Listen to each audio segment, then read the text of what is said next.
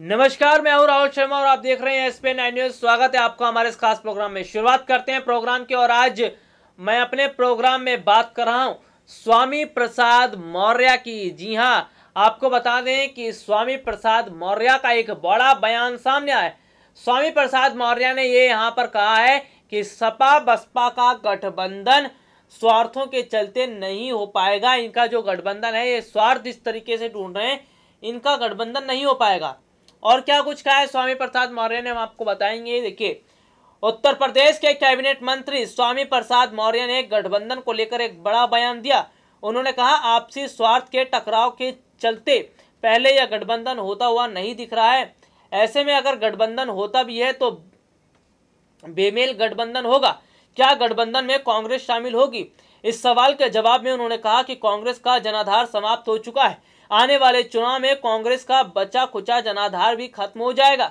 मौर्य ने कहा, कांग्रेस के अलावा सपा और बसपा भी अपना जनाधार खो रही हैं। ऐसे में जनाधार को बचाने और अपने नेताओं की दल बदली के डर से सपा और बसपा गठबंधन की बात कर रही हैं। देखिए, सपा और बसपा गठबंधन की जिस तरीके से बात तो कर रही हैं, और यहाँ पर देखिए, अगर देखा जाए तो स्वामी प्रसाद मौर्य उत्तर प्रदेश के कैबिनेट मंत्री स्वामी प्रसाद मौर्य ने जिस तरीके से कहा है कि इनका गठबंधन नहीं चल पाएगा, क्योंकि कहीं ना कहीं अपना स्वार्थ दोनों देखने की कोशिश कर रहे हैं।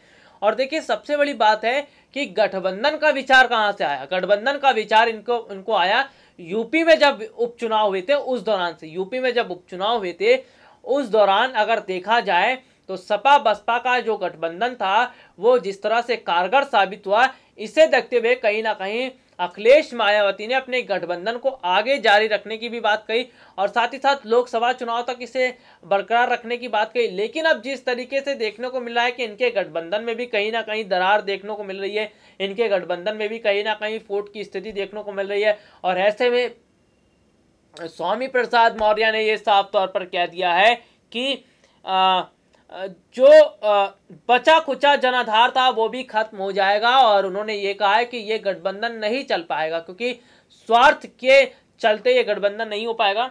आपको बता दें, गठबंधन की स्थिति अभी तक साफ़ नहीं हो पाई है। बसपा प्रमुख का कहना है कि अगर गठबंधन में सम्मानजनक सीटें नहीं मिलती हैं तो वह अकेले चुनाव लड़ेंगी।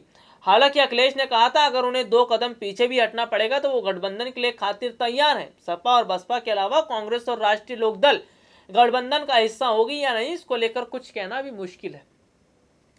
तो देखिए, लोकसभा चुनाव को लेकर महागठबंधन बनाया जा रहा है। विपक्षी पार्टियाँ तमाम तरीके से एक साथ नज़र आ रही हैं। विपक्षी पार्टियाँ जिस तरीके से चुनाव में सफलता हासिल करने की बात कर रही हैं। और देखिए, अगर गठबंधन पार्टियों की मैं बात करता हूँ तो गठबंधन पार्टियों में ये यहाँ पर देखने को मिल है कि अभी से जो गठबंधन पार्टियाँ हैं, उनकी आ, हवा निकल गई है कहीं ना कहीं। उनकी बीच में दरार देखने को मिल। देखिए ऐसा इसलिए हम कह रहे हैं क्योंकि एक तरफ़ आ, बसपा सुप्रीमो मायावती उन्होंने कांग्रेस से दूरी बना रखी है। पश्चिम बंगाल की मुख्यमंत्री ममता बनर्जी उन्होंने कांग्रेस से दूरियाँ बना रखी है। और ऐसे में ये यहाँ पर चीज़ें देखने को मिल रही हैं कि जिस तरीके से जो हालात बने हुए हैं, जो स्थितियाँ बनी हुई हैं, ये कहीं ना कहीं देखिए नज़र आता है, ये कहीं ना कहीं ये चीज़ें सामने आ रही हैं कि जिस तरीके से जो महागठबंधन है, ये टूट की स्थिति पर देखने और देखिए, लोकसभा चुनाव से पहले इसमें टूटने की स्थिति देखने को मिल रही है।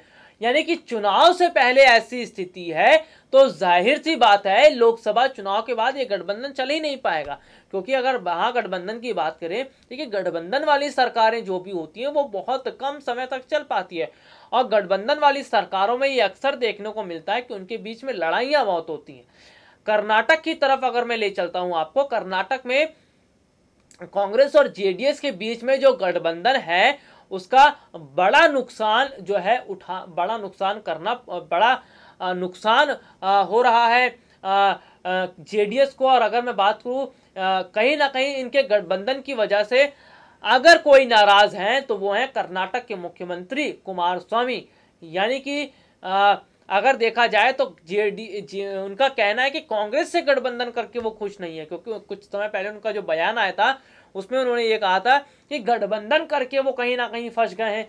गठबंधन जिस तरह से किया गया है, वो खुलकर काम नहीं कर पा रहे जो फैसले वो लेना चाहते हैं, वो फैसले ले नहीं पा रहे। तो ऐसे में आप यहाँ पर इस चीज़ को समझ सकते हैं कि कर्नाटक में जब कांग्रेस और जेडीएस के बीच में गठबंधन में खींचातानी चल रही है वहाँ कर्नाटक में सही ढंग से काम नहीं हो पा रहा है लोगों के लिए काम नहीं हो पा रहा है जनता के लिए काम नहीं हो पा रहा है तो ऐसे में महागठबंधन यानी कि लोकसभा चुनाव को लेकर महागठबंधन जो बनाया जा रहा है तो ये ऐसे में कैसे जनता के लिए काम करेंगे? क्योंकि आ, ये तो आपस में अपने फायदों को देखते हुए लड़ाइयाँ करते रहेंगे और ऐसे में पीसेगी तो अगर जनता।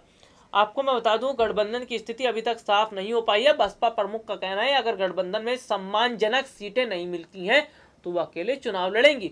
हालाँकि अखिलेश ने कहा था, अगर उन्हें दो कदम पीछे भी हटना पड़ेगा तो वो गठबंधन के लिए तैयार है। यानी कि गठबंधन के खातिर वो इस तरह का फैसला ले सकते हैं। और हाल ही में बसपा ने छत्तीसगढ़ विधानसभा चुनाव में कांग्रेस की विरोधी पार्टी छत्तीसगढ़ जनता कांग्रेस के साथ चुनाव लड़ने का ऐलान किया है। तो देखिए मायावती कहीं ना कहीं महागठबंधन से नाराज़ हो रही हैं और स्वामी प्रसाद मौर्य ने जिस तरीके से बोल दिया है, बयान दे दिया कि स्वार्थ के चलते ये गठबंधन पूरा नहीं होगा। खैर, देखते हैं कि लोकसभा चुनाव में जनता किसे वोट करती है? महागठबंधन को या फिर किसी और राजनीतिक पार्टी को? बहरहाल, आज के इस प्रोग्राम में इतना ही। अगली बार आपसे दोबारा मुलाकात होगी। तब तक के लिए इजाज़त दीजिए। नमस्कार।